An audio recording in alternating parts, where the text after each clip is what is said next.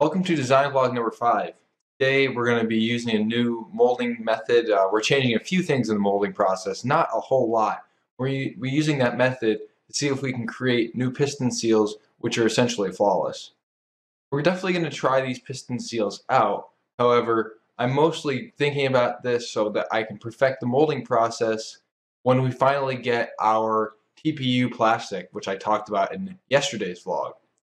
So stay with me. Uh, we'll be talking a little bit about this process and the changes I'm making, and you'll get to see probably some results, maybe tomorrow.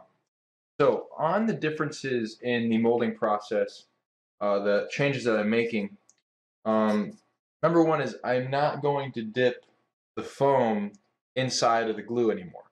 This is because I think that the foam was actually uh, melting and it would produce air bubbles since it's just aerated plastic.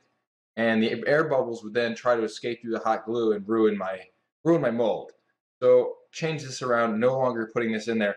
It's also the, the core that I'm going to use between the two seals is like wider in diameter. So this is basically so I can get support on the outer outer edges of the mold a little bit better. Um, so this is one of the, this is a product of the mold. Uh, it has a smoother side than the previous ones did, and that's because I changed the molding fluid. Uh, in this bowl, instead of a cooking oil, is WD-40. WD-40 I've seen used in these molding processes. It's an organic lubricant. Um, you know, it'll eat up, it'll basically displace all the water in there, no bubbles. Uh, it's also a great lubricant. So I, I'm hoping that this works out a little bit.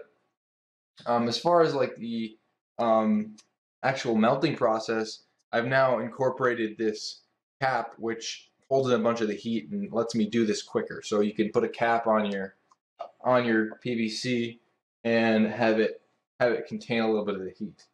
So I'm going to go ahead and take this mold out and I'll show you the result. So here are the two piston seals which I've created that I would call acceptable. Um, this I want to show you the difference between one that's cooled down and one that's that's still kind of warm. So this one is cooled down. I you can, can tell how much pressure I'm using to to, to bend this. It, you know, it's significant. It becomes pretty stiff and rigid at this point. This one is just barely you know, off the oven and it bends nicer and it's a lot more like a rubber. I want this one to stay more like this one all the way. That's why I'm getting that new material.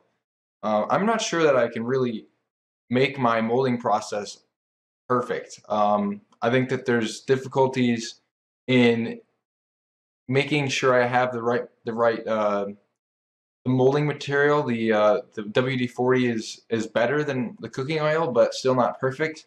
And I think the PVC is a little bit rough, so we're getting hot glue seeping into those little you know rough cracks, and and unfortunately, you know, causing it to stick to it. So um, the edges of this are a little rough.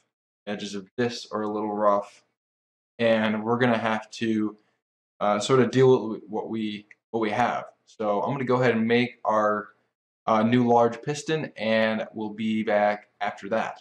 So I, as I told you a little bit before, I made some new piston seals using that molding technique. I showed you them.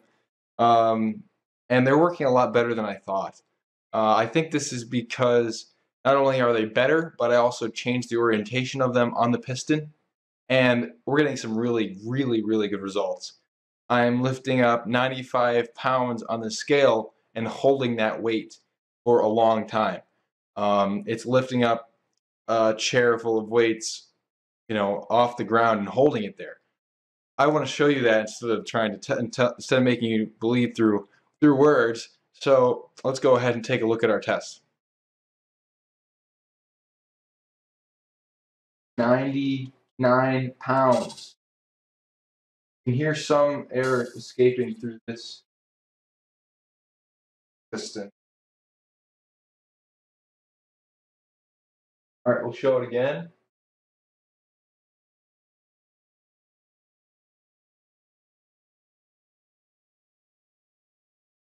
I think you can see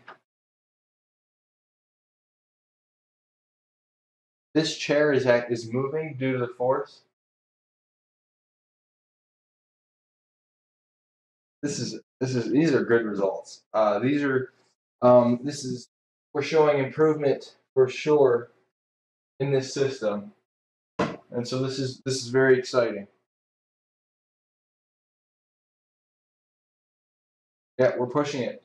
The reason why it's pushing is because the uh, the piston is slightly off kilter, but we're very close to getting really, really perfect results. I I would be willing to put this on uh, standing desk, tell somebody, hey, you can use this hydraulic system to lift something. At this point, I'd be willing to do that.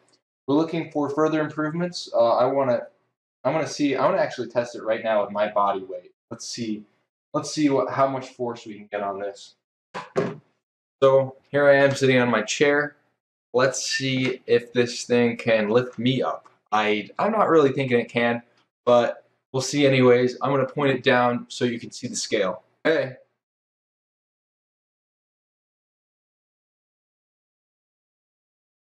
Oh my god, 120 pounds on the hydraulic press. Let's see. Um, any improvements we can make? I, I really would love to straighten this thing out. If you look at it, it's it's bent a little. That's unfortunate. That's my fault. Um, but this thing is really performing well. Um, I want to see if I can fix it maybe a little bit. Not really. It would be. I think I could get myself off the ground with this if if I can get this thing straight. But right at this point, it's it's kind of just starting to tip the cylinder, and that that is that's almost no good for that. Um, I'll keep trying. I really, I'd love to see this thing lift me up today. This, that would be amazing. So I did keep trying with the hydraulic cylinder, and I eventually broke it. Um, the seal wasn't very good. The hot glue didn't really hold on the foam. Um, that is probably a rush build, but uh, so tomorrow is really exciting because that's when our TPU rubber is supposed to come in. I really am excited about that. If it doesn't come in, I'm probably just going to uh, update my website. I've got a few big changes to do to the do-it-yourself-resource.com in order to make it a little bit more mobile friendly. Um, and also, I want to get my subscribers uh, a way of getting updates. So I'm going to create a mailing list. Um, so yeah, I I'm really excited about tomorrow. Um, I'm also really excited that hot glue can sort of do the, you know, can sort of hold up. It's definitely going to be in the, definitely going to be in my my mind when I release the project when I actually come up with an official design. So yeah, thank you very much for watching and have a great day. Bye. More information is offered on my website, thedoityourselfresource.com. As well, feel free to like our Facebook page and watch us live on twitch.tv. Links are in the description. Thank you very much and goodbye.